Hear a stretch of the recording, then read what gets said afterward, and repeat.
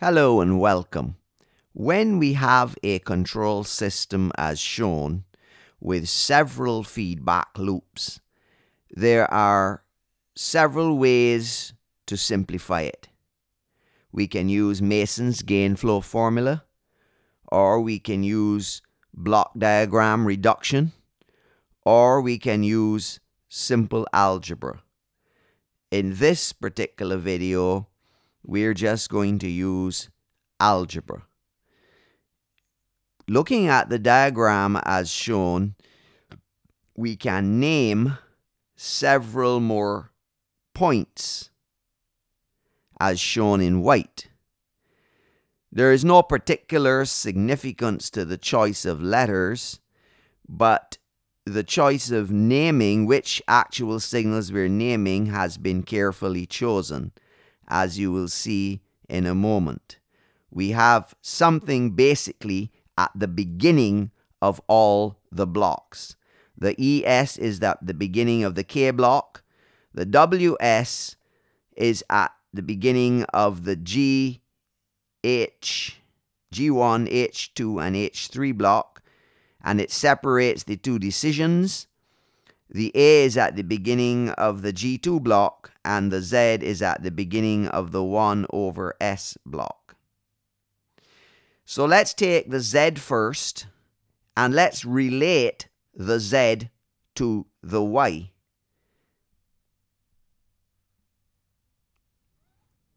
But before we do that, we are going to realize that we can omit writing the brackets with the S next to all the variables since the entire problem is in the Laplace domain and it will be it will make the algebra look more confusing. So having said that, what we have done now is we have write, written y in terms of z. The z passes through the 1 divided by s function to become the y. So all of these lines in the diagram are actually signals and they're also variables in the algebra. And what's inside the boxes is functions that operate on the variables. So y and z would be variable and the 1 over s would be the function. So the z is the input to the 1 over s and the y becomes the output. But we can treat it as a simple algebra expression and we can make Z the subject. We just multiply by S on both sides and we have Z equal to SY. Now the next thing we're going to look at is the Y, but we, this time we're going to write it in terms of the A. Now the A passes through the G2 block as well as the 1 over S block. And we are going to ignore the Z in this as if it wasn't there. And we are going to say that Y is 1 over S times G2A. We can do that because when two blocks have nothing between them, you can join them together to become one block. So we actually have those two blocks becoming one block, G2 over S. So that's what we do to A in order to get it into Y. And once we have done that, we can now make A the subject of the expression. So we simply multiply by the S and divide by the G2 and lo and behold, the A is isolated and has become the subject. Now, before we move on to put it all together, we are going to write some simple equations for E and W as well. E, if you study it, is just R minus Y. Look at that. The Y comes right away back around to that circle that decision block uh, where we perform a simple summing operation. The plus or the minus next to each circle is actually what happens in the algebra. So those circles are actually summing blocks that sum signals together, not decision blocks, summing blocks. Okay, so the E signal there going into the K is just R minus Y. And likewise, if we look at the W, we can say that the W is K times the E signal minus Z times the H1 signal. Okay, so H1 is a function, Z is a variable, E is a variable, and K is a function. Okay, but K is just a scaling uh, gain factor, basically. Once we see K there in the block, that's just basically multiplying the E by the K. And K is usually just a number. Whereas H and Z, sorry, H and G, H and G, the H and G blocks, they can be complete functions in themselves. They may not simply be replaced by numbers in most cases. So, what are we going to do next? We are going to write an expression for A that includes Z and W. So now we look here and we look backwards towards the W. And we see that the A is G1 times whatever happens at that summing block.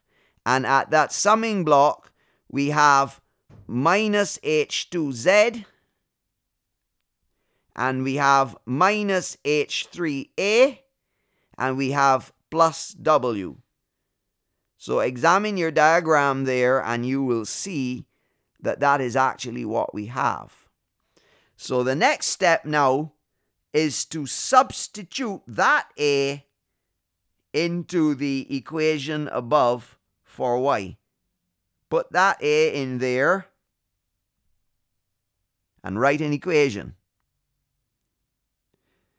So can you see that what we've done? We have that is A and that is W. So we're gaining ground. But when we look at our expression for W, we have in Z A sorry, when we look at our expression for Y, we have in Z A and W.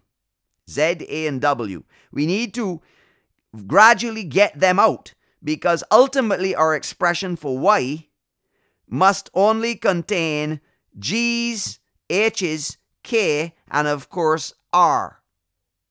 So we don't want the white variables that we've created, E, W, A, and Z, to exist in the final answer. We want Y equal to something times R. Y equal to the transfer function times R is what we want to end up in. So we're going to have to get rid of those uh, letters Z, A, and W. That's what we have to do next. So we identify what we're going to substitute them with. For Z, we're going to substitute SY. And for A, we're going to substitute SY over G2. So that is done in the next line. And what we want to do is now we want to multiply out those brackets completely.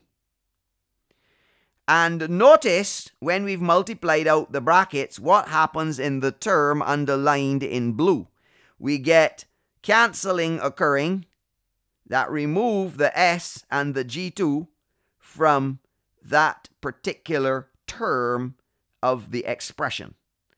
So you can assure yourself of how the algebra is progressing and you can look at the formula there and you can realize that the only other thing we have to get rid of is W. So we're going to substitute the KE minus H1Z in place of the W.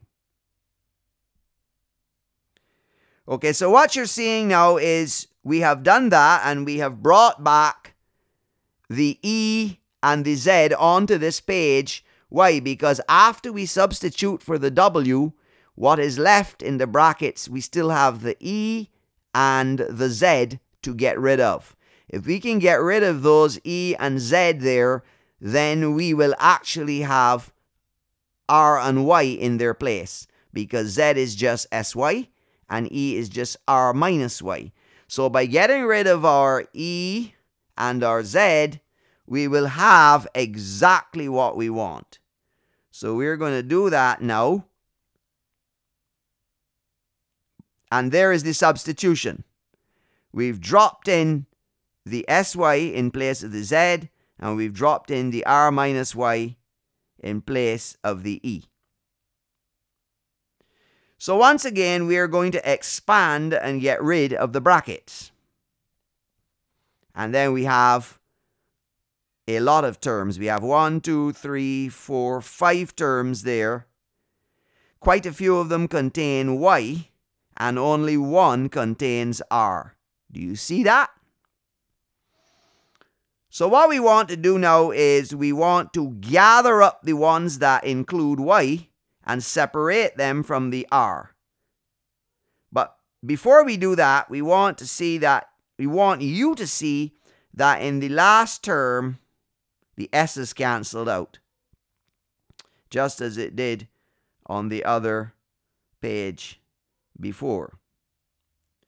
So now we've gathered them all up so that we have y times a whole big something, and then we have one other term which is r times something. So the last thing that we want to do is to bring the r under the y. But before we can do that, we have to get rid of the y on both sides. So what we want to do is we want to move the bracketed expression that's multiplied by y over to the side with the y. So in order to do that, we need to expand that again. But before we expand that, we're just going to show you, so in case you can't figure it out, where the terms have ended up. And uh, that shows you that where the Y's came from. Four of them had the Y's, and the, the yellow indicates it. But unfortunately, we need to multiply out that Y again. Why do we need to do that? Because we have to bring those terms over to the Y. And we have done it in this line. As you can see, the equal sign has moved down now so that we can separate the R's from the Y's. We added each of those Y terms over to the other side. So all the minus signs have changed to plus signs because each of the minus sign terms have been moved over to the other side. And when we look at this, we can easily now extract the y. And that's why we get the 1. Because when we extract the y there, we have a 1 and everything then in the brackets is a plus term. So now we're in a good position to do what we wanted to do because we can bring the r round under the y by division and we can also do another division and bring that entire long bracket on the left under what's on the right. So let us do that now. We need a new page to do it on. And we've done it there now. And uh, just in case you don't see it, there is the R going under the Y. And there is the bracketed part going under the other part. Thanks for watching the Stephen Mendes channel. And we hope this video has helped you and you will watch some more. See you in the next video.